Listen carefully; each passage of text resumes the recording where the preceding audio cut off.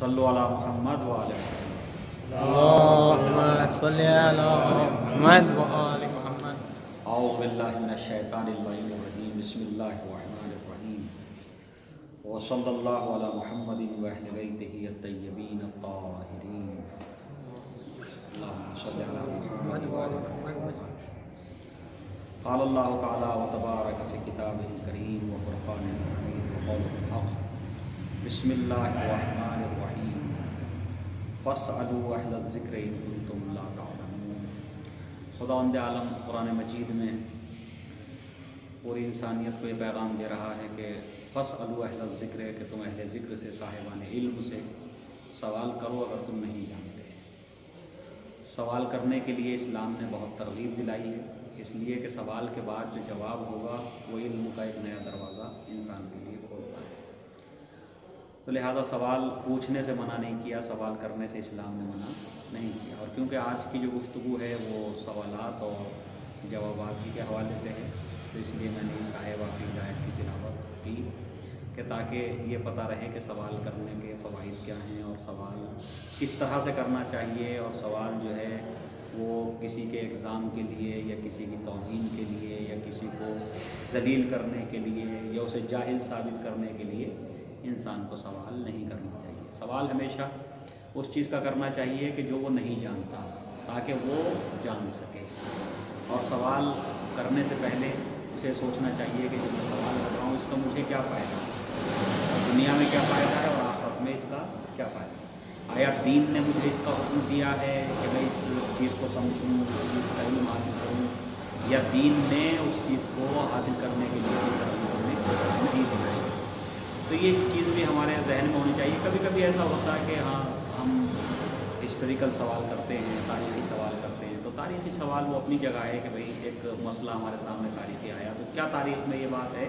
تو وہ بھی کہیں نہ کہیں ہماری دنیا سے اور آخرت سے نالج کے اعتبار سے اس کا تعلق ہے۔ لہذا اس کا سوال صحیح ہے۔ لیکن کچھ سوالات ایسے ہوتے ہیں کہ جس کا نہ ہماری دنیا سے کوئی تعلق ہے اور نہ ہماری آخرت سے اور نہ ہمارے دین سے اور نہ ہماری دنیا دنیاوی زندگی سے۔ کسی سے بھی اس کا تعلق نہیں ہے۔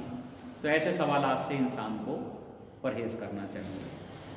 اور سوال خود یعنی بہت اہم ہے کہ جی انسان پوچھے۔ اور قرآن مجید کے لیے اور علماء کے لیے بھی یہ روایات نبی کریم حضرت محمد مصطفیٰ صلی اللہ علیہ وآلہ وسلم ارشاد فرماتے ہیں کہ عالم دین شکایت کرے گا، مسجد شکایت کرے گی۔ اور اللہ کی بارگاہ میں قرآن شکایت کہ میں تو موجود تھا لیکن مجھے کسی نے میری تلاوت نہیں کی، مجھے سمجھنے کی کوشش نہیں کی، مجھ سے ہدایت حاصل کرنے کی کوشش نہیں کی۔ عالم دین موجود ہے لیکن عالم دین سے لوگ سوال نہیں کرتے یا سوال کرتے ہیں۔ تو ایسے سوال کرتے ہیں کہ جن کا دین سے، ان کے دین سے، ان کے اعمال سے یا ان کے عقائد سے یا اسلامی فکر سے اس کا کوئی تعلق نہیں ہوتا۔ یا کرتے ہی نہیں اس سے سوال۔ یعنی اس کا مصرف ہی نہیں سمجھتے اس کا کیا یوز ہے، کیا کیسے ہمیں ایک عالم کے ساتھ میں رہنا چاہیے اور کس طرح سے جو ہے اس سے ہمیں استفادہ کرنا چاہیے، یا تو وہ نہیں جانتے۔ تو عالم شکایت کرے گا آخرت میں کہ میں تو موجود تھا لیکن لوگوں نے پوچھا، مجھ سے نہیں پوچھا، مجھ سے سوال نہیں کیا۔ اسی طرح سے جو ہے وہ مسجد شکایت کرے گی خدا کی بارگاہ میں کہ میں تو موجود تھی، بنایا تو گیا، مسجد تو تعمیر ہو گئی۔ لیکن نمازی مسجد کے اندر عبادت کرنے والے نہیں تھے تو یہ بہرحال اس ادھر آ جائیے۔ بہرحال اسلام نے بہت زور دیا سوال کے اوپر۔ اس سے پہلے کی ایک تقریر میں بھی میں نے یہ بات کہی تھی کہ اہل بیت علیہ السلاۃ والسلام نے ہمارے ائمہ نے اور ہمارے نبی نے کبھی سوال کو یعنی جھڑکا نہیں۔ یہ نہیں کہ کیا سوال کر رہے ہیں اور کیوں اس طرح کا سوال کریں ایسا نہیں ہے۔ سوال جو بھی ہے کبھی کبھی تو ایسا بھی ہوا آئم علیہ الصلاۃ والسلام نے، سوال کرنے والے نے سائل نے سوال کی شکل صحیح نہیں بنائی اور سوال کر لیا، ادھورا سوال جسے تو آئم علیہ الصلاۃ والسلام نے یہ بھی بتایا کہ نہیں، یہ سوال یوں نہیں، یوں کرنا چاہیے۔ صحیح ہے؟ اس طرح نہیں، اس طرح کرنا چاہیے۔ جیسے یاہیا ابن اقسم ایک قاضل خزات تھا یاہیا ابن اقسم۔ مامون رشید کے دربار میں تھا یہ اور علماء اہل سنت۔ اپنی ایک اہمیت تھی اس زمانے میں۔ اور اس وقت جو ہے جتنے بھی قاضی شہروں کے قاضی ہوا کرتے تھے حکومت کی طرف سے، تو ہر شہر میں قاضی ہوتا تھا۔ تو قاضی القزات کسے کہتے تھے؟ کہ جو تمام قاضیوں کے اوپر قاضی ان چیف جسے کہیں گے۔ صحیح؟ صحیح؟ وہ جو قاضی ہوتا تھا، جو سب قاضیوں کا ہیڈ ہوتا تھا، کہ اگر کوئی مسئلہ ایسا ہو کہ جو جیسے آج ہمارے یہاں سپریم کورٹ ہے، بالکل آخری کورٹ، صحیح ہے نا؟ لاسٹ کہ اگر کوئی ایسا مسئلہ آئے کہ جس کا یہ نیچے والے قاضی جواب نہ دے سکیں، تو وہ قضیہ کہاں جائے گا؟ وہ فیصلہ ہونے کے لیے کہاں جائے گا؟ قاضی القزات کے پاس، کیونکہ وہ ہیڈ ہے تمام قاضیوں کا تو اس نے سوال کیا مامون رشید کے دربار میں جب امام محمد تقی علیہ السلاۃ والسلام سے مامون رشید لے گئے اپنے دربار میں۔ بچپنا تھا آپ کا اور امام کی شہادت، امام علی رضا علیہ صلاۃ والسلام کی شہادت ہو چکی تھی۔ تو جب لے گیا اپنے ساتھ امام کو اور امام سے اپنی بیٹی کے عقد کا اعلان کیا۔ دربار تو قاضی القزات نے کہا کہ آپ اس آٹھ یا دس سال کے بچے سے اپنی بیٹی کے عقد کا اعلان کر رہے ہیں۔ یعنی ابھی عقد ہونا نہیں جا رہا ہے، بس ایک اعلان کیا۔ صحیح کہ اس سے آپ اپنی بیٹی کا عقد فرما رہے ہیں۔ اتنے بڑے بڑے علماء موجود ہیں۔ صحیح۔ اتنے زیادہ علم رکھنے والے حضرات موجود ہیں۔ آپ آخر اس بچے کے اندر کیا ہے کہ جو آپ نے اسے داماد بنانا قبول کیا تو قاضی القزاد اور تمام علماء جو بیٹھے ہوئے تھے، ان سے مامون رشید نے کہا کہ آپ خود ہی دیکھ لیجیے تو اس نے وہ سوال شکار کے بارے میں جو سوال کیا تھا، اس کے بارے میں کہ جی اگر کسی انسان نے احرام کی حالت میں صحیح ہے شکار کیا تو اس کا کفارہ کیا ہوگا؟ تو وہ سوال ناقص ہے۔ سوال ہی ناقص ہے۔ تو آئم علیہ السلاۃ والسلام نے یہ بھی تعلیم دی سوال کرنے والوں کو کہ سوال کس طرح کرنا چاہیے اور سوال جو ہے وہ کیسے مکمل ہوتا کیونکہ اس کی ایک شکل نہیں ہے۔ جواب کی، جواب تو کئی شکلوں میں ہو سکتا بتیس بتیس شکلیں ہوتی ہیں اس کے جواب کی۔ صحیح ہے؟ اب وہ بتیس شکلیں امام جواب دیں یا آپ کسی ایک شکل کے بارے میں پوچھیں تو وہ بہتر ہوگا۔ آپ یہ کہیے کہ احرام کی حالت میں مکے کے اندر ہل میں یا حرم میں؟ صحیح ہے؟ دو الگ الگ ایریے ہوتے ہیں۔ ایک ہل ہے، ایک حرم۔ صحیح ہے؟ دو الگ الگ۔ اس کا ایک حدود ہوتے ہیں باڈر ہے کہ بھئی یہ ہل ہے اور یہ اس کے باہر حرم ہے۔ جیسے مینا کا ایک خاص ایریا ہے، صحیح ہے نا؟ کہ جی قربانی وہیں ہو سکتی جو مینا کا ایریا ہے۔ مینا کے باہر قربانی نہیں ہو سکتی، جو حج کے لیے قربانی دی جاتی ہے، جو واجب ہوتی ہے قربانی۔ تو اس کا سوال ناقص تھا، سوال کیا کیا اس نے؟ سوال یہ کیا کہ اگر حالت احرام میں کوئی شکار کر لے تو اس کا کفارہ کیا؟ اب اس کی تو بتیس صورتیں، کفارے کی، ایک صورت ہو تو امام جواب دے تو امام نے کہا آپ کا سوال ہی ناقص ہے۔ یعنی امام نے اسے یعنی متوجہ کیا کہ آپ سوال صحیح کیجیے سوال ناقص ہے۔ جس چیز کا شکار کر رہا ہے، وہ پرند ہے، چرند ہے، صحیح حلال جانور ہے، غیر حلال جانور ہے، شکار کرنے والا آزاد ہے، غلام ہے، صحیح ہے نا؟ احرام کی حالت میں ہے۔ ہل میں ہے یہ ساری چیزیں امام نے بیان کی۔ تو لہذا سوال آئمہ علیہ السلاۃ والسلام نے کبھی بھی سوال کرنے والوں کو چھڑکا نہیں ہے، بلکہ کہا ہے کہ آپ سوال کریں۔ کیونکہ جیسے جیسے سوال آپ کرتے جائیں گے، ویسے ویسے اس کا جواب ملے گا۔ اور وہ جواب جو ہے، علم کا ایک نیا دروازہ نالج کا ایک نیا دروازہ انسان کے لیے کھولتا چلا جائے۔ گا تو آئیے، آج کی گفتگو میں ہم سوال ہی رکھتے ہیں۔ اب آپ کو میں آپ سے کہہ رہا ہوں کہ آپ سوال کیجیے اور جو مجھے علم ہوگا اس کا جواب میں دوں گا۔ اور اگر نہیں ہے کسی سوال کا جواب میرے پاس نہیں ہے فرض کیجیے میرے مطالعے میں نہیں ہے یا میں نے کہیں نہیں پڑھا، صحیح ہے؟ تو میں اس کے، اس سوال کا جواب جو انشاءاللہ کسی اپنے بزرگ عالم دین، اپنے استاد صحیح ہے، یا کتابوں کی طرف رجوع کر کے دوبارہ سے، صحیح ہے، دیکھ کر کے اس کے بعد اس کا جواب مل جائے گا۔ بسم اللہ، جو سوال ہوا سوال۔ جو بھی جو کنفیوژن ہیں آپ کے مطلب مجالس کے حوالے سے، سیرت اہل بیت کے حوالے سے، احادیث کے حوالے سے، یا کچھ واقعات ہیں اس طرح کے تاریخی، صحیح ہے؟ جو بھی کنفیوژن ہو رہے ہیں آپ کو، جو شک ہے کسی طرح کا، یا اپنے مسائل کے حوالے سے، عقائد کے حوالے سے، صحیح ہے؟ جو بھی آپ کا کوئی سوال ہے، آپ بسم اللہ سوال کر سکتے ہیں۔ اس کا جو بھی مجھ سے ممکن ہوگا جواب، وہ ان شاء اللہ کام کی اہمیت کیسے دے جیسے کہ ابھی یہاں پہ جو پروگرام ہوتے ہیں مغربی شاہ کے بعد۔ تو سات دن تک کبھی مجلس رہتے کبھی تین دن۔ آفس کا کام بھی ہے تو کبھی ایسا ہوتا ہے کہ وہ مجلس کر کے جاتے ہیں۔ تو وہاں آفس کا کام رہ جاتا ہے کبھی کچھ بزنس مین سے بات کرنا ہو رہ جاتا ہے۔ تو کس کو کب اہمیت دے؟ دیکھیے جہاں تک مسئلہ ہے کہ اہمیت کا تو اس میں کوئی دو رائے نہیں ہے کہ مجالس اور محافل۔ جہاں بھی ذکر محمد و عال محمد کیا جا رہا ہے لا محالہ اس کی اہمیت ہے۔ اور بہت زیادہ اہمیت ہمیں اسے دینی چاہیے۔ کیوں اس لیے کہ وہ وہی ذکر محمد و عال محمد جو ہے، وہ ہماری دنیاوی زندگی میں ہمیں اپنے اعمال اور اپنے جو ہمارے بزنس ہے، تجارت ہے یا جاب ہے، صحیح ہے؟ اس کو کس طرح سے ہمیں دین کے مطابق کرنا ہے، وہ وہیں سے ہمیں ملتا ہے وہیں سے سیکھنے کو ملتا ہے۔ لیکن رہ گیا مسئلہ کہ اگر کوئی اتنا بڑا ضرر ہے، کسی کو نقصان ہے، کہ فرض کیجیے کہ مجلس اسی وقت ہو رہی کہ جب اس کی میٹنگ طے ہو چکی ہے کسی کے ساتھ۔ کوئی ڈیل ہونا ہے یا کسی طرح کوئی بزنس کا کوئی کاروبار کا سلسلہ ہے اور اگر وہ مجلس میں جاتا تو اسے بہت بڑا نقصان ہو سکتا۔ تو اس صورت میں اسلام یہ نہیں کہتا کہ مجلس واجب ہے۔ مجلس واجب نہیں ہے۔ مجلس سنت ہے، مستحب ہے، صحیح ہے۔ تو آپ اس صورت میں جو ہے، اگر کوئی بہت بڑے نقصان کا خطرہ ہے تو کوئی ضروری نہیں ہے کہ آپ مجلس میں جائیے، آپ اپنا وہ کر لیجیے اور اس کے بعد اگر ٹائم ملتا ہے تو آپ مجلس میں آ جائیے۔ اسلام نقصان نہیں چاہتا۔ اسلام آپ کا نقصان نہیں چاہتا کیونکہ اسلام نے مجلس کو واجب قرار نہیں دیا۔ آپ کے اوپر۔ کہ آپ اسے کس طرح سے مینیج کر سکتے ہیں دونوں چیزوں کو تو اس طرح سے آپ مینیج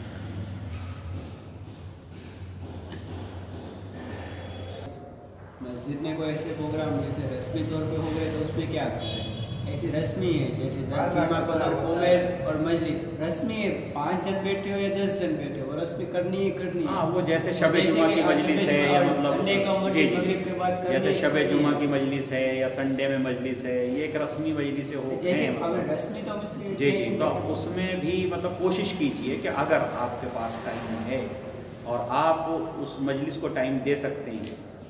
میں نے جو انہیں جواب دیا وہی آپ کا جواب ہے کہ آپ اگر ٹائم دے سکتے ہیں۔ دیکھیے بات سمجھیے۔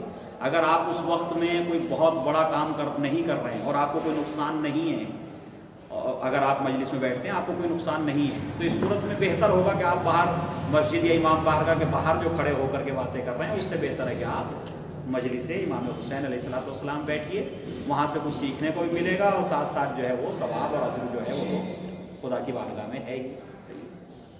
ہاں، یہ سب رسمی طور پہ ہو رہا ہے جیسے کوئی دعا کومل ہو رہا ہے تو اسی سے کبھی کبھی ایسا لگتا ہے کہ یہ رسم کوئی جیسے دن دن کی بے عزتی کر رہا ہو، ایسا ہوتا ہے۔ کوئی پیچھے بیٹھے کرنا میں آرام سے بیٹھا دن کر کے بیٹھے۔ اصل میں اس رسم و رواج کو آنے والے وقت میں، دیکھیے، ابھی تو ہمارے بزرگ ہیں، خدا ان کو سلامت رکھتے ہیں ہم سب کا احترام کرتے ہیں، بزرگوں کا اپنے، اور ان کی محنتیں ہیں کہ جو آج ہم تک یہ دین پہنچا ہے صحیح ہے کہ انہوں نے بڑی محنتیں کی ہیں۔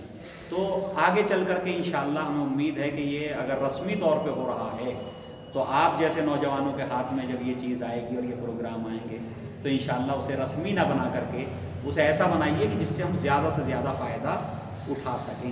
صحیح؟ ہے اسے اس طرح سے بنائیے۔ لیکن جو رسم و رواج ابھی چلی آ رہی ہیں، ان کے اوپر خدا کے لیے کسی بھی طرح کا ابھی کوئی اٹیک نہ کیجیے۔ صحیح ہے نا؟ کیونکہ اس سے اختلاف ہوگا اور اسلام اختلاف کو گوارا نہیں کرتا۔ اسلام فتنہ و فساد کو گوارا نہیں کرتا۔ کوشش کیجیے کہ اپنے اپنے دائرے میں رہ کر کے، صحیح ہے؟ ایک کمیٹی ہے کہ وہ ذاکرین اور خطبہ حضرات کو بلانا چاہ رہی ہے، وہ اپنے ایک، جو ایک طریقہ چلا رہا مجالس کا۔ وہ اس طریقے پہ بیانات کر رہے ہیں، اس طریقے پہ مجالس پڑھ رہے ہیں، صحیح ہے نا؟ تو وہ کوئی غلط تو نہیں ہے، چلا رہا ہے ایک سلسلہ، سمجھ رہے ہیں؟ تو کوشش کیجیے کہ آپ اپنے حساب سے اپنے جو آپ بہتر سمجھتے ہیں کہ بھئی ہم کسی اچھے عالم کو بلائیں اور اس سے مجلس پڑھوائیں تاکہ ہمیں کچھ ملے، تو آپ اپنا پروگرام رکھیے جو ان کے پروگرام ہو رہے ہیں یا کسی کے پروگرام، اس میں ولو رسم و رواج کے طور پہ ہو رہے ہیں۔ لیکن ان کے اندر جو ہے کسی طرح کا انٹرفیئر نہیں ہونا چاہیے اختلاف نہیں ہونا چاہیے۔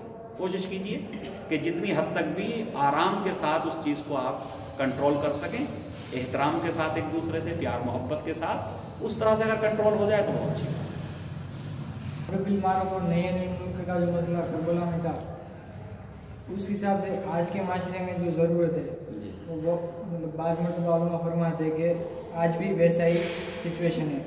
لیکن جب یہ پریکٹل کرنا چاہتے ہیں تو پبلک یہ کہتی ہے کہ وہ امام تھے۔ اس وقت حالات ایسے تھے۔ ہم لوگ عام انسان ہیں۔ اور اس میں کچھ شروع کیا ہے امر بالمعروف نہیں علم کر کے لیے کچھ شروع تھے۔ اسلام نے ہر انسان کے اوپر امر بالمعروف اور نہیں انل منکر کو واجب نہیں کیا۔ امر بالمعروف اور نہیں انل منکر یعنی اچھے کاموں کا حکم دینا اور برائیوں سے مومنین کو، لوگوں کو روکنا۔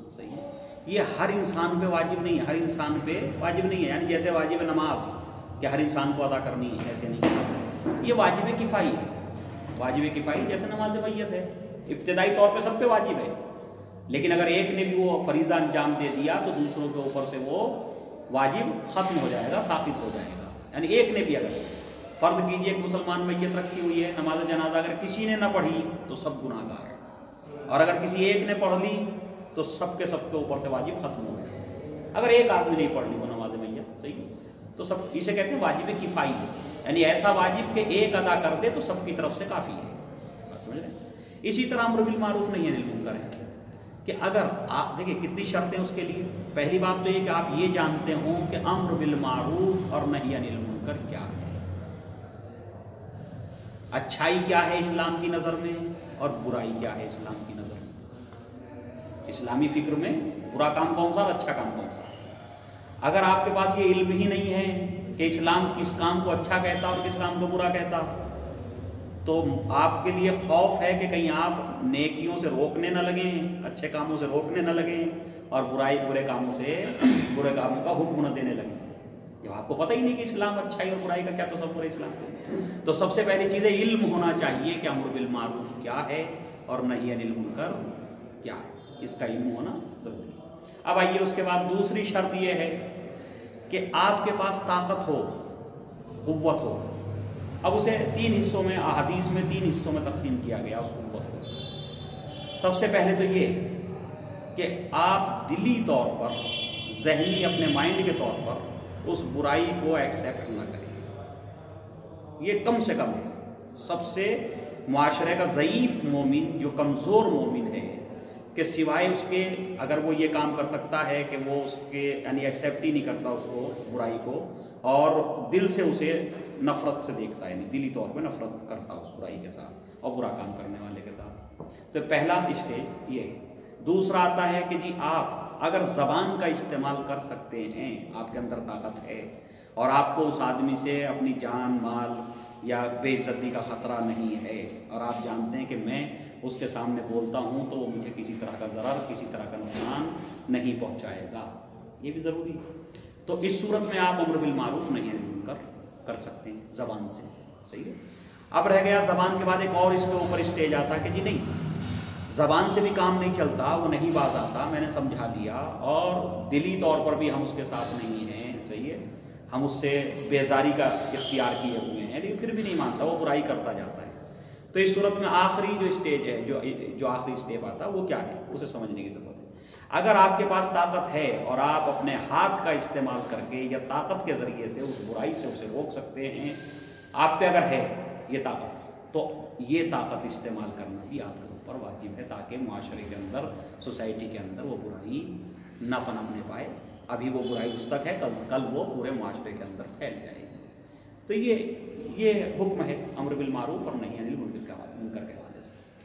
اور پھر ایک حدیث میں یہ بھی آیا کہ جس وقت تم امر بالمعروف نبی کریم اپنی امت کے لیے فرما رہے ہیں کہ اگر تم نے امر بالمعروف اچھائیوں کا حکم دینا اور برائیوں سے منع کرنا چھوڑ دیا، اگر چھوڑ دیا کنڈیشن ان کے طور پہ بیان کر اگر تم نے ایسا کیا اور جان بوجھ کے برائیوں سے نگاہیں بچانے لگے کہ میری کیا ذمہ داری یہ برائی کروا؟ اور اچھائیوں کا حکم دینا چھوڑ دیا مومنین کو، تو ایک دن ایسا آئے گا کہ خدا وند عالم تمہارے اوپر ایک ایسا ظالم مسلط کرے گا۔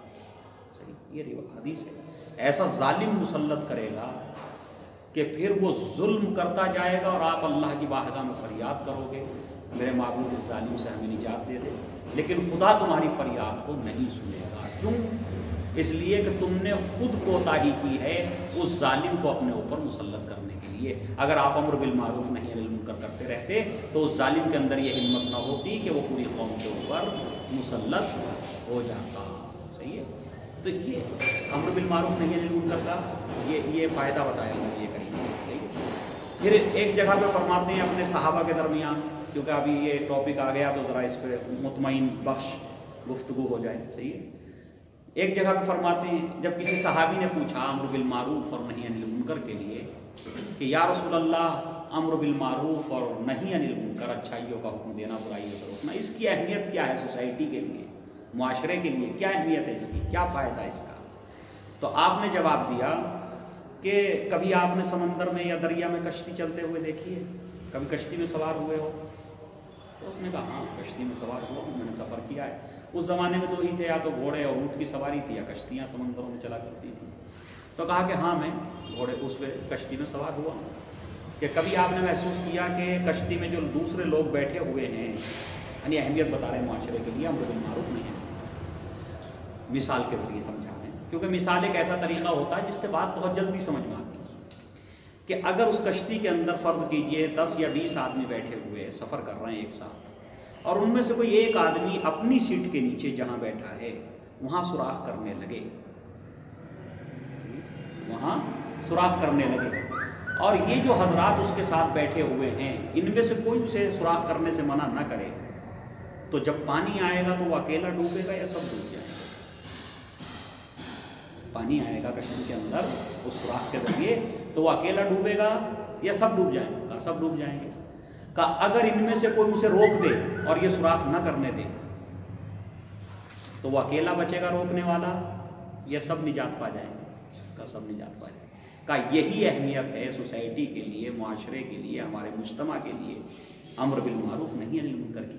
اگر برائی کہیں سے شروع ہوئی ہے اگر اسے وہاں کسی نے روک دیا تو وہ برائی پھر دوسرے گھروں تک، دوسرے بچوں تک، دوسری بچیوں تک صحیح ہے، نہیں پہنچے گی۔ لیکن اگر ہم سب کے سب خاموش کھڑے رہے، تو لامحالہ اس ایک برائی کرنے والے کو دیکھ کر کے دوسرے لوگوں کے اندر ہمت ہوگی، حوصلہ ہوگا اور وہ برائی ہر گھر میں داخل ہو جائے گی۔ تو روک دیا جائے گا تو سب بچ جاؤ گے۔ اور اگر اس برائی سے منع نہیں کیا گیا تو سب کے سب ہلاک تو یہ اہمیت ہے امر بالمعروف نہیں بسم اللہ۔ ہمارے ساتھ عقیدے سے اس سے کوئی ایگزامپل کسی کی شہادت ہوئی ہے تو عقیدت کی روح پہ دھندا روزگار بند کا اعلان کر دیتے ہیں۔ کسی کی بھی ہوئی کوئی بھی ہوئی تو دھندا روزگار۔ ایگزامپل راجنا میں چھ سو لوگ کمانے والے ہیں۔ جی۔ کوئی شخص دو سو روپئے تو آرام سے کما لے گا۔ تو اس کی انکم راجلہ کی جو جماعت کی انکم ہے وہ ایک لاکھ بیس ہزار روپیہ مائنس ہو جائے گی۔ جو نہیں کمایا اس نے۔ دھندا روزگار بنانے کے حساب سے اور بعد میں بولتے ہیں ہم شاپ اوپن رکھتے ہیں اور جو پیسے کماتے ہیں وہ ہم کسی کو اسٹوڈنٹ میں دے دیں یا کسی غریب کو دے دیں یا ایجوکیشن میں دے دیں تو وہ بولتے تمہیں تم کو خدا پہ بھروسہ نہیں ہے تو عقیدت سے جن جوڑتے ہیں ہم اگر کچھ عقیدت کے روپ سے دھندا روزگار بند رہتا ہے نا تو سب لوگ یہیں پہ آٹا مارتے گناہ کا کام کرتے ہیں اگر شاپ کھلی رہتی ہے تو ہم پیسے بھی کما اچھا ہماری نیت یہ ہے کہ اس دن کے پیسے کے ہم سارے پیسے اکٹھا ہو گئے کسی کو ایجوکیشن میں لگا اچھا میں سمجھ گیا آپ کا سوال۔ سوال آپ کا بالکل صاف ہے کلیئر ہے کوئی اب اس میں تفصیل کی ضرورت نہیں ہے یہ حقیقت ہے کہ عاشور کے دن کاروبار سے منع کیا گیا۔ ہاں، صحیح ہے؟ تو صحیح ہے۔ پھر بات سنیے۔ عاشور کے دن صرف یوم عاشورہ۔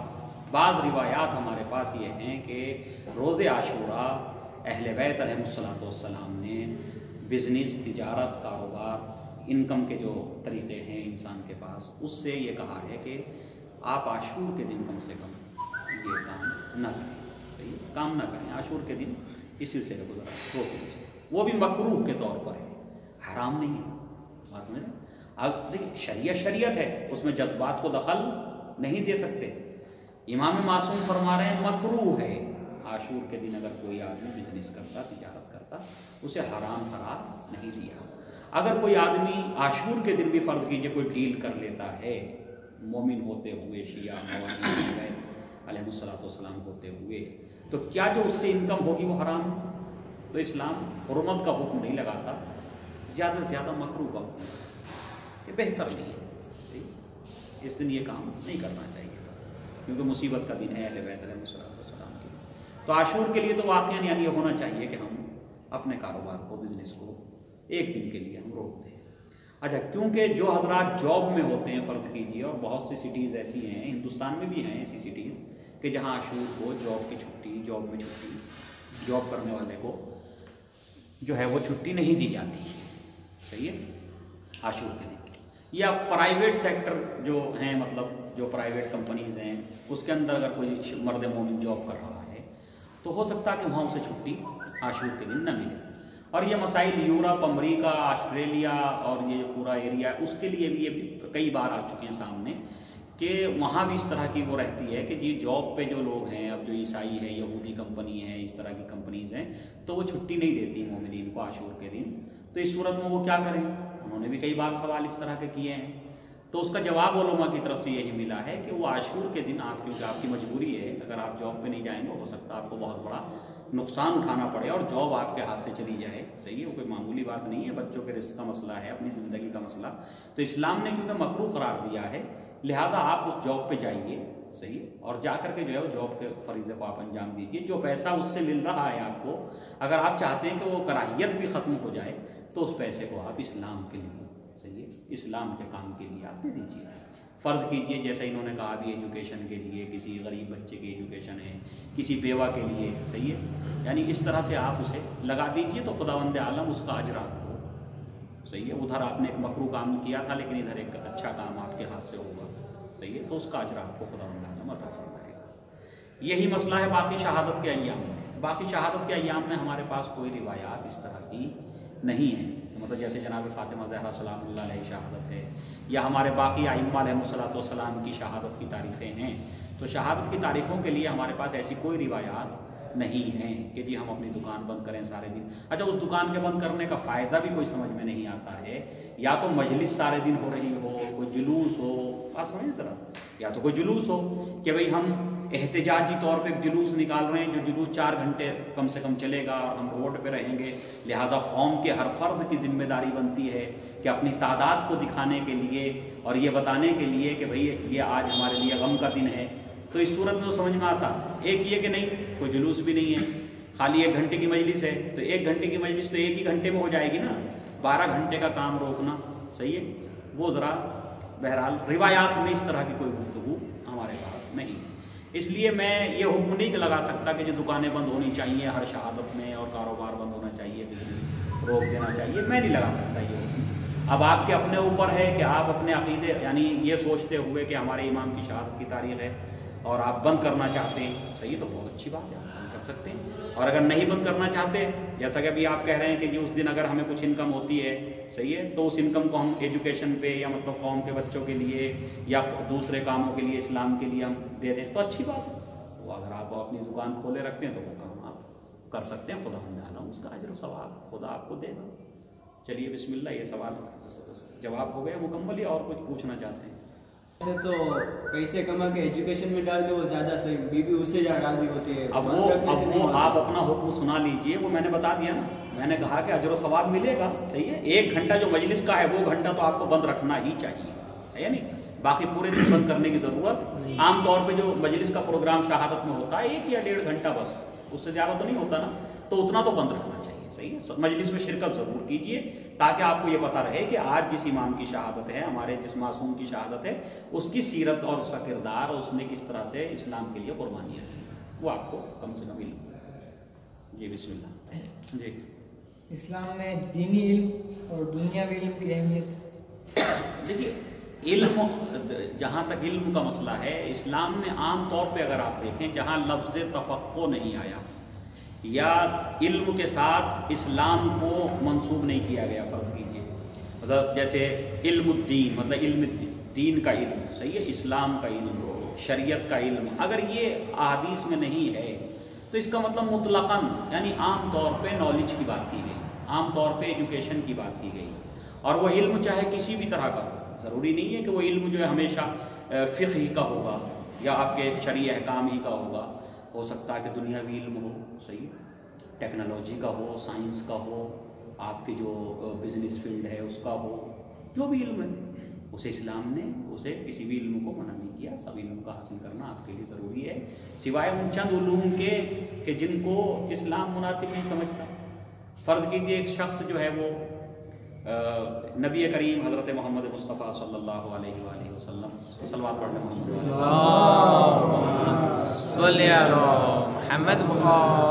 ایک روز مسجد میں تشریف لائے. اصول کافی کے اندر یہ روایت موجود ہے. آپ دیکھ لیجیے. سب سے پہلا باب باب العقل جو ہے، جو میں اس سے پہلے آپ کو بتا چکا ہوں، باب العقل اور باب العقل والجہل. اسی باب العقل کے اندر میرے خیال میں پانچویں چھٹی روایت میں یہ سب سے پہلے یہ روایت آ آ جائے گی آپ کے سامنے، اصول کافی. اصول کافی کا ماشاءاللہ انگلش میں بھی ترجمہ ہوگا آپ لوگوں کے پاس. انگلش کے ترجمے دیکھ سکتے ہیں، گجراتی میں بھی ہو سکتا ہے، اس میں دیکھ سکتے ہیں.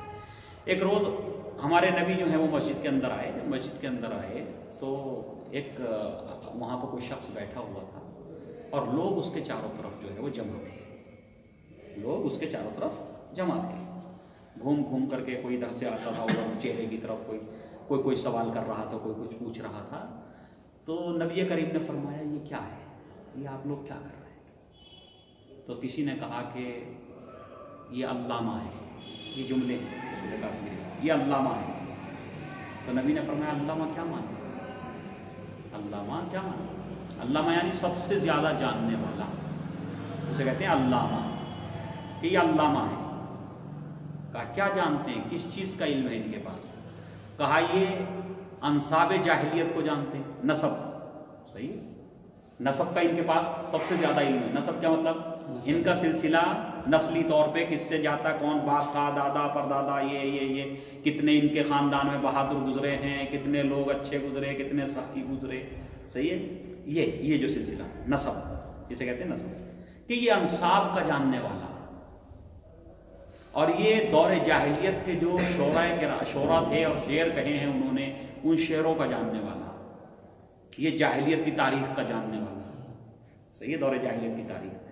تو نبی کریم نے فرمایا کہ اس علم کا کوئی فائدہ اس علم کا کہ وہ انسان کے جو نہیں جانتا اسے نقصان کیا ہے اس سے اور جو جانتا ہے اسے فائدہ کیا ہے اس سے۔ بات سمجھ رہے بھائی آپ کس کے بیٹے آپ کے دادا کون تھے؟ پر دادا کون تھے؟ نہ اس کے جاننے سے کوئی فائدہ ہے اور نہ جاننے سے کوئی نہ جاننے سے اس کا کوئی نقصان نہیں ہے۔ تو پھر آپ نے فرمایا، علم صرف تین طرح کا ہے، تین طرح کا علم۔ اور وہ کیا ہے؟ کہ یا تو تمہاری زندگی میں جو واجبات ہیں، خدا ان عالم کی طرف سے، اس کے بارے میں علم ہو۔ صحیح ہے؟ کہ جی آپ اسے جانیں جو واجب یا جو ہے آپ سنت، جو سنت چیزیں، صحیح ہے؟ اسے آپ جانیں۔ اور تیسرے کہ آپ کی اپنی ذمہ داریاں کیا ہیں؟ اچھا۔ بھائی اس کے علاوہ جو باقی ہے، وہ فضل ہے۔ فضل یعنی بہتر ہے۔ صحیح ہے کہ آپ اور چیزیں بھی جانیں۔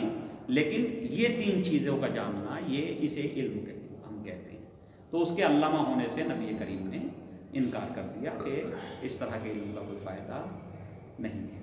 تو دنیا بھی وہ علوم کے جن کا معاشرے کو، سوسائٹی کو اور مجھے ذاتی طور پہ، پرسنل طور پہ مجھے کوئی فائدہ نہیں ہے، اس علم کے حاصل کرنے کا کوئی فائدہ نہیں۔ اور جن علوم سے ہمیں فائدہ ہے معاشرے کو، سوسائٹی کو، انسانوں کو، اس علم کا حاصل کرنا اسلام میں ضروری ہے۔ فرض کیجیے کہ آج ہمارے پاس علماء کرام ماشاءاللہ سے بہت ہیں۔ خدا انہیں سلامت رکھے اور یہ اپنی خدمات انجام دیتے رہیں۔ علماء ہیں ہمارے پاس۔ آج ہمیں ایک سوسائٹی کے لیے جہاں ایک عالم دین کی ضرورت ہے اور دنیاوی زندگی کیسے اسلام کے تحت گزاری جائے، وہ سب بتانے کے لیے ایک عالم کی ضرورت ہے۔ وہیں ہمیں سوسائٹی کو ڈیولپ کرنے کے لیے ایک انجینئر کی ضرورت ہے۔ وہیں سوسائٹی کے صحت اور سمجھ رہے ہیں؟ اس کے جو ہے سواستھ کا خیال کرنے، رکھنے کے لیے ڈاکٹر کی ضرورت ہے۔ ہے یا نہیں ہے؟ وہیں ٹیکنالوجی میں یہ قوم کہیں پیچھے نہ رہ جائے تو ہمیں سائنٹسٹ کی ضرورت ہے۔ تو ہمیں ہر فیلڈ میں علم کی جتنی بھی نالج کی فیلڈیں ہو سکتی ہیں، ان سب میں ہمیں ایک سوسائٹی کے اعتبار سے کام کرنا چاہیے، چاہے دنیاوی فیلڈ ہو اور چاہے اس علم کا تعلق دین سے ہو۔ اسی لیے نبی کریم فرماتے ہیں، العلم علمان، علم دو طرح کا ہوتا ہے، علم الادیان و علم الابدان۔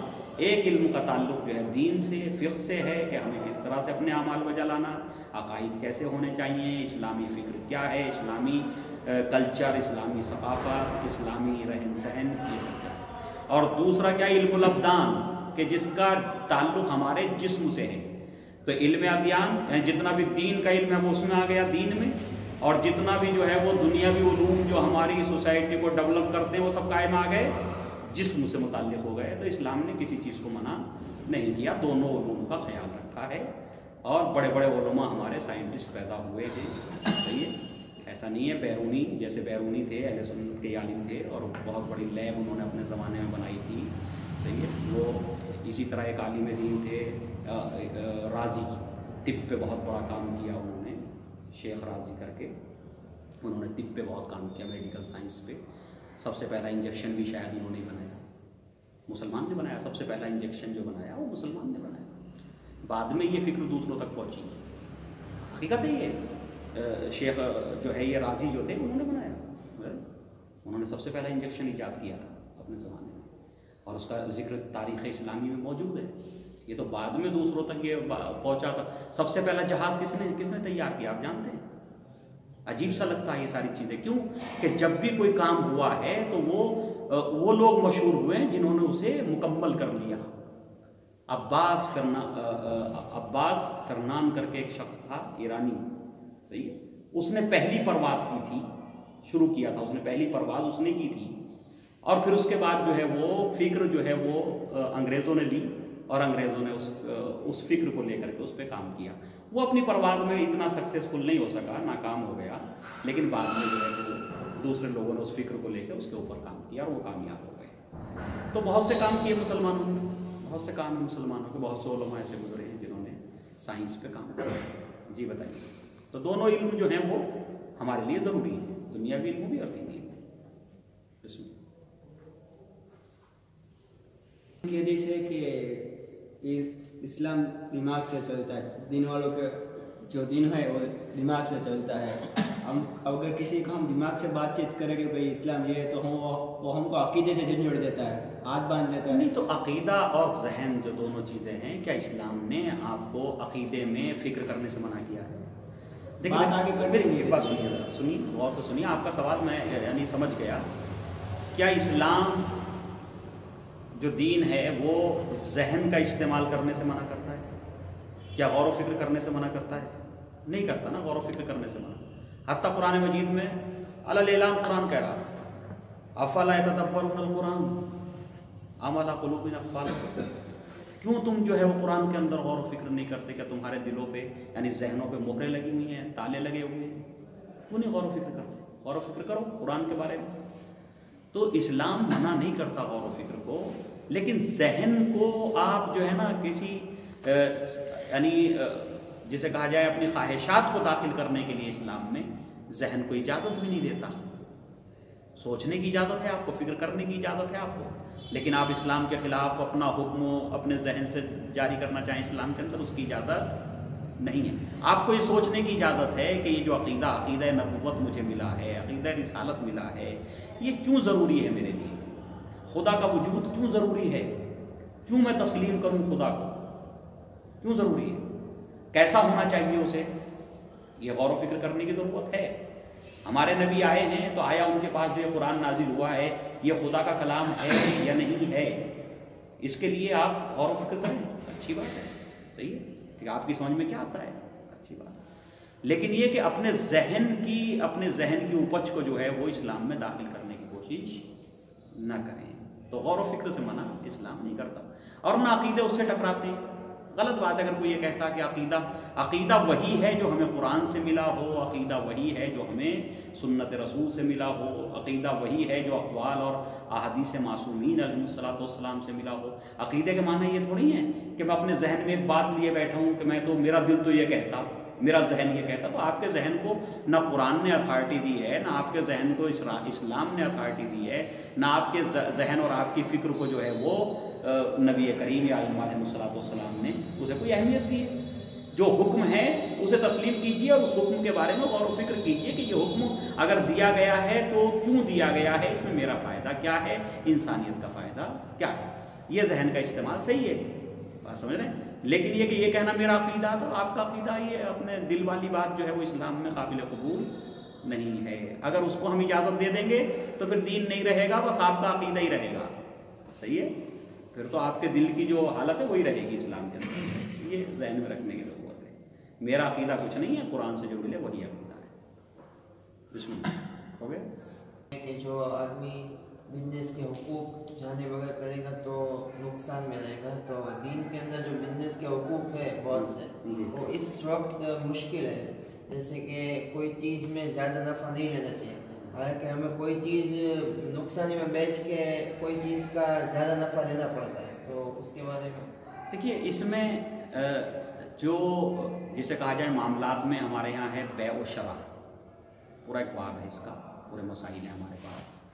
بے یعنی بیچنا، شرع یعنی خریدنا صحیح؟ ہے بیچنا اور خریدنا، تجارت میں۔ یہ دو لفظ ہمارے یہاں عربی میں استعمال ہوتے ہیں۔ تو اس سلسلے میں حدیث موجود ہیں کہ اگر دونوں طرف سے جو ایک بیچ رہا ہے اور جو شخص خرید رہا ہے، اگر وہ دونوں راضی ہیں آپ سمجھ رہے اگر دونوں راضی ہیں، اس قیمت کے اوپر جس قیمت پہ وہ مال بک رہا ہے، لینے والا اس قیمت پہ راضی اور بیچنے والا اس قیمت کے اوپر راضی ہے۔ تو دونوں اگر راضی ہیں اور اس کے بھاؤ میں اتنا زیادہ اتار چڑھاؤ نہیں ہے کہ جسے ہم کہیں کہ جی بہت زیادہ آپ نے مہنگا بیچا۔ فرض کیجیے پچاس روپے کا سامان مارکیٹ میں پچاس کا ملنا آپ اسے جو ہے وہ ڈھائی سو تین سو روپے کا بیچ رہے ہیں تو وہ اسلام دھوکہ کہتا ہے اسے صحیح نا کہ یہ تو اتنا کا دھوکہ ہے۔ ہاں کبھی کیا ہوتا ہے کہ جی پچاس روپے کا سامان ہے آپ نے اسے جو پچپن ساٹھ روپے میں دیا ہے۔ تو اسے کہا جاتا کہ بھائی ہاں یہ اتنا اس میں کوئی پریشانی نہیں ہے۔ اس میں بھی جب دونوں طرف راضی ہے صحیح ہے؟ لینے والا اور بیچنے والا دونوں۔ اب آئیے میں آپ کو اس کے لیے چھوٹا سا واقعہ، مولا کائنات حضرت علی علیہ السلام والسلام نئے نئے کوفے میں آئے تھے۔ اپنے آپ کا دور حکومت تھا، کوفے کے اندر شروع ہوا تھا خلافت۔ آپ کی ظاہری خلافت شروع ہوئی تھی۔ تو ایک دکان کے اوپر پہنچے تو دکان کا مالک موجود نہیں تھا، جیسے ہم اپنے بچے کو بیٹھا کے کہیں چلے جاتے ہیں۔ صحیح ہے؟ بچہ بیٹھا دیتے نا۔ تو بچے کو بیٹھایا ہوا تھا، بچہ کچھ زیادہ ہی چالا تھا۔ بچہ کچھ زیادہ ہی چالک تھا۔ صحیح تو اس لباس کی قیمت، کرتے کی قیمت یا قمیض کی قیمت جو ہے وہ دو درہم یا ڈیڑھ درہم یا ایک درہم جو بھی تھی وہ تھی۔ آپ نے وہ اس سے دو درہم میں خرید لیا۔ دو درہم میں اس کرتے کو خرید لیا۔ تھوڑی دیر میں مالک آ گیا بچہ نہیں جانتا تھا کہ یہ کون ہے خریدنے والا۔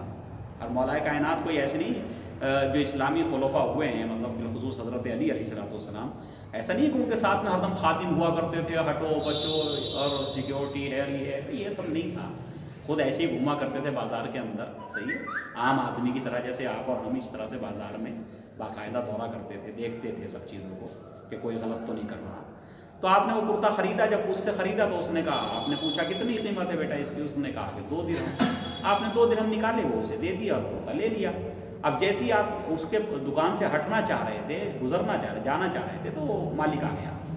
صحیح ہے، جو باپ تھا اس کا، بچے کا۔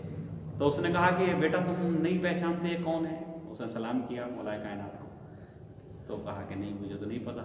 کہا بیٹا، کیا لیا؟ مولا نے کہا کہ کرتا لیا۔ کہا، کتنے لیے تم نے؟ کتنے کتنے پیسے لیے؟ کہا، دو درم کہا بیٹا، یہ آپ نے زیادہ لیے ہیں، ڈیڑھ درم کا ہے۔ صحیح۔ آپ تو مولا کائنات نے کہا نہیں۔ میں اس خرید و فروخت پہ راضی ہوں، اس قیمت کے اوپر۔ میں نے اپنی رضایت سے لیا ہے، لہٰذا اس کی کوئی غلطی نہیں ہے۔ تو اس کا مطلب یہ کہ اس واقعے سے یہ سمجھ میں آتا ہے کہ اگر دونوں طرفین راضی ہیں اور قیمت میں اتنا زیادہ بھی فرق نہیں ہے کہ سامنے والا سوچے میں لٹ گیا۔ صحیح ہے؟ یعنی مارکیٹ کے اعتبار سے اتنا زیادہ فرق نہ ہو کہ سامنے والے کو ایسا لگے کہ وہ لٹ گیا۔ تو لہٰذا اس اس حد تک تو اسلامی لیکن اگر اس سے اوپر آپ گزر رہے ہیں، پچاس روپے کا مال ایک ہزار میں بیچ کے آ رہے ہیں، تو بہرحال اس میں اسلام ہی جانتا تھا یعنی کوئی چیز ہو جس کی مارکیٹ میں شارٹیج آ گئی ہو، کہ یہ بلیک کے بھاؤ میں بکتا ہے، ہم بھی بلیک کے بھاؤ میں خرید کر کے بھاؤ میں بیچیں گے۔ تو اس کے لیے شارٹیج جو ہے وہ صحیح ہے آپ کی بات، لیکن اسلام میں جو ہے وہ اسے کہتے ہیں احتکاک۔ یہ اسلام میں حرام ہے ابتدان حرام ہے۔ صحیح ہے؟ اسٹاک۔ سنیے ذرا اسٹاک حرام ہے اسلام نہیں۔ میری میری بات سنیے وہی بتانے جا رہا ہوں میں میں وہی بتا رہا ہوں اور دوسری طرف نہیں جا رہا۔ میں بھی ادھر ہی آ رہا ہوں۔ اسٹاک کیا ہوتا ہے کہ ایک مرتبہ آپ فرض کیجیے کہ گیہوں کم پیدا ہوا۔ یا تاجروں نے جو گیہوں کے بزنس کرنے والے لوگ ہیں انہوں نے وہ کیا کرتے ہیں جیسے ہی گیہوں نیا نیا مارکیٹ میں آتا تو وہ خرید کر کے کولڈ اسٹور میں ادھر ادھر اسے اسٹور میں پیک کر دیتے کیوں؟ کہ اب یہ سستا بک رہا۔ ابھی نیا نیا اور جیسے جیسے اس پہ ٹائم گزرتا جائے گا، یہ مارکیٹ میں کم ہوتا جائے گا، تو ہم اس سے اچھا نفع کما سکتے ہیں۔ ہے یا نہیں؟ یہ ہوتا ہے۔ ہر ہر اس میں ہوتا ہے، کھانے پینے کی چیزوں میں۔ صحیح؟ جو اسے لے کر کے اسٹور کر دیتے ہیں۔ تو اس صورت میں جو ہے وہ احتکاب کو اسلام منع کرتا ہے۔ ہاں آپ بزنس کے طور پر اسے لے کر کے تو ڈال دیجیے، لیکن اگر شارٹیج ہو گئی سوسائٹی کے اندر اور مارکیٹ کے اندر تو آپ کو اسے اسی دام میں بیچنا پڑے گا جو شارٹیج سے پہلے کا دام چل رہا تھا۔ اس کی مثال ہمارے پاس امام صادق علیہ السلام والسلام کی سیرت طیبہ میں موجود ہے۔ کوئی گوشہ نہیں ہے کہ جس پہ آئیم علیہ صلاحۃ نے کوئی نہ کوئی بیان نہ دیا ہو۔ صحیح ہے؟ امام صادق علیہ السلام والسلام کے لیے واقعہ ملتا۔ آپ کا ایگریکلچر فارم تھا، آپ کے باغات تھے۔ صحیح ہے؟ لوگ اہل بیت علیہ السلام والسلام کے سلسلے میں کہیں نہ کہیں یہ غلط فہمی کا شکار ہیں کہ جی اہل بیت علیہ السلام والسلام ناؤز اللہ وہ اتنے غریب تھے کہ ان پہ کھانے کو نہیں تھا، پہننے کو نہیں تھا، ایسا کچھ نہیں ہے، صحیح۔ امام صادق کے پاس مدینے سے اسی کلومیٹر یا اسی میل روایات میں، اسی میل کے فاصلے پر ایک مبنا کا مقام ہے، صحیح ہے تاریخ میں روایت میں۔ وہاں پر اپنا ایگریکلچر فارم ہے اور امام محمد باقر علیہ السلام اسلام بھی اپنے باغ میں کام کرتے ہوئے نظر آتے ہیں، صحیح ہے۔ وہ سارے واقعات بھی موجود ہیں۔ امام زین اللہ علیہ السلام کا غلام ان کے باغ میں کام کرتا ہوا نظر آتا ہے، جس سے پتہ چلتا ہے کہ آپ کے پاس زراعت ہے، زمین تھی، آپ کی جائیداد تھی، سب کچھ تھا۔ لہذا امام صادق علیہ صلاحت والسلام کے اس کھیت سے اتنا پیداوار ہوتی تھی کہ پورے سال کے لیے امام کے اور امام کے جو خادم وغیرہ اور جو اپنی فیملی کے افراد تھے، ان کے لیے کافی تھا۔ اور اس غلے میں سے باقاعدہ سال میں بیچا بھی جاتا تھا، مارکیٹ میں بھی آتا تھا۔ ایک مرتبہ ایسا ہوا، قحط پڑ گئے قحط یعنی کھانے پینے کے سامان کی کمی ہو گئی۔ تو امام نے دیکھا کہ مارکیٹ کے اندر سامان نہیں ہے، لوگ جو ہیں بہت پریشان نظر آ رہے ہیں۔ تو امام نے آ کر کے اپنے خادم سے پوچھا، جو اس غلے کی دیکھ بھال کے لیے تھا، کہ ہمارے پاس کتنا کھانے پینے کا سامان ہوگا اس گودام کے اندر، اس جگہ پر۔ تو وہ سمجھا کہ مطلب امام کو خوف ہے کہ قحط پڑا ہوا ہے، لہذا اس لیے فکر مند ہیں کہ پورے سال چلے گا ہمیں یا نہیں چلے گا۔